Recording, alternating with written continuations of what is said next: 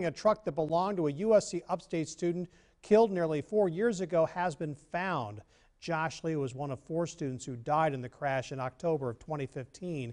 Lee's mother says she was getting his old Chevy pickup de uh, detailed for what would have been his 24th birthday when it was taken from a Spartanburg business. She posted on Facebook late last night saying the truck was recovered and police are gathering evidence. A Michelin